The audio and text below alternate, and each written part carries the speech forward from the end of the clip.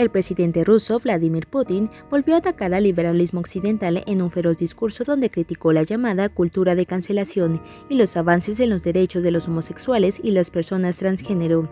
En la reunión anual del Valdai Discussion Club en el balneario de Sochi sobre el Mar Negro, el líder ruso señaló que su país debe adherirse a sus propios valores espirituales y tradiciones históricas, mientras se mantienen alejados de las perturbaciones socioculturales en Occidente.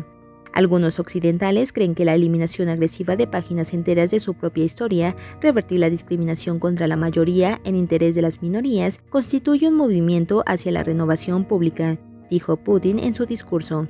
Es su derecho, pero les pedimos que se mantengan alejados de nuestra casa. Tenemos un punto de vista diferente. El presidente ruso le dijo al diario Financial Times de Londres en 2019 que el liberalismo se había vuelto obsoleto. Es un energético defensor de lo que considera valores familiares tradicionales. En sus declaraciones del jueves dijo que la noción de que a los menores se les enseña que un chico puede convertirse en chica y viceversa es monstruosa y al borde de un crimen contra la humanidad. También sugirió que los defensores de los derechos de las personas transexuales estaban exigiendo el fin de cosas básicas como la madre, el padre, la familia o las diferencias de género. El presidente ruso gobierna un país donde ha habido numerosos informes creíbles de tortura y encarcelamiento de homosexuales.